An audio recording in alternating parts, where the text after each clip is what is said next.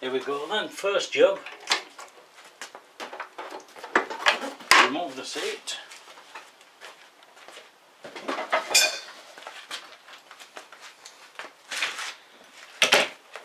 And these covers. That's wrong one.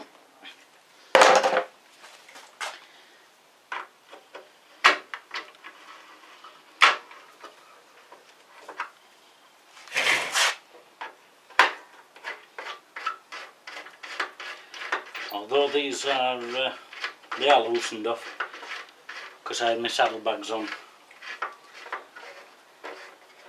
But I'll just show you quickly on this bit.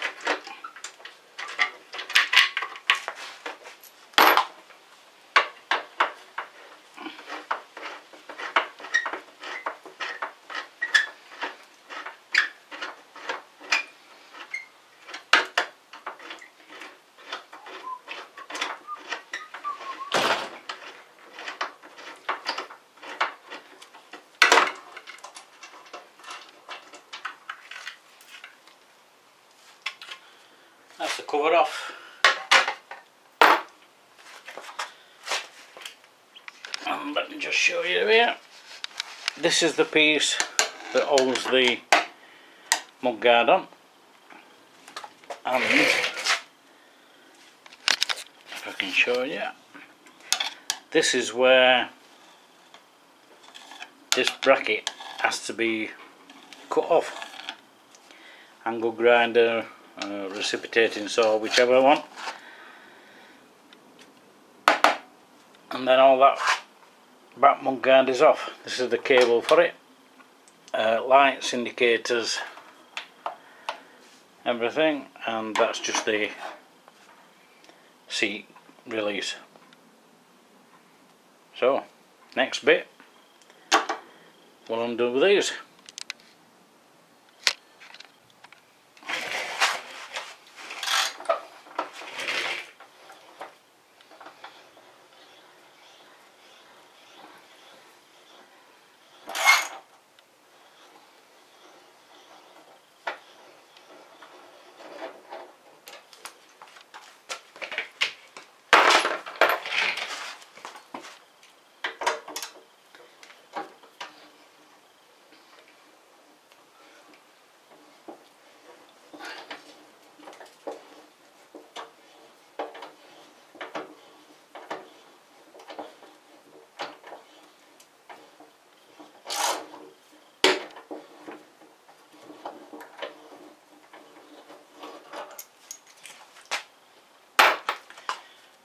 And I'll do the same on the other side.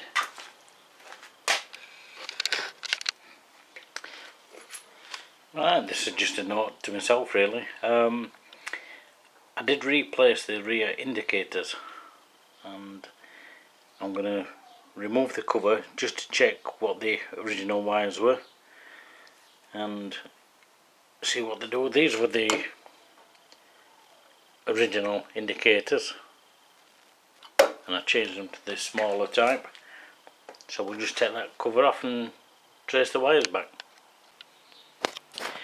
Right so I've got the covers off. And the right indicator onto the original wires is grey with black yellow stripe right indicator. Left indicator.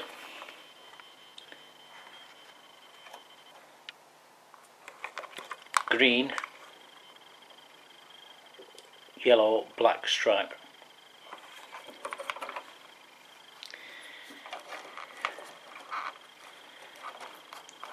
Red blue with yellow black is the tail light and the red yellow black is the number plate light.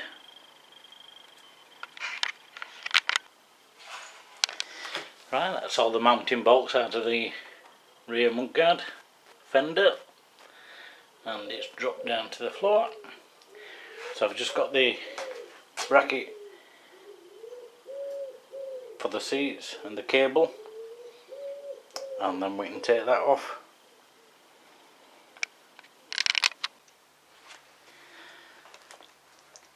Okay on to the next bit. And this is definitely no turning back. Um, this bit has to be cut off. That's the bit that used to hold the old mudguard on. So we've got to cut it across there which you can see the line I've already done that. So onto the next side and let's get this removed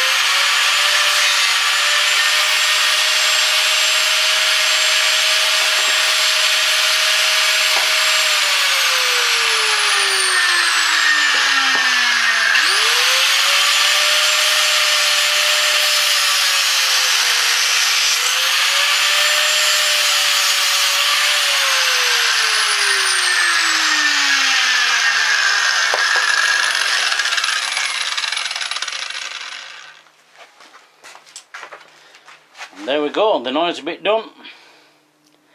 The brackets are off. So we can pick you up, sorry about that. And show you what we do.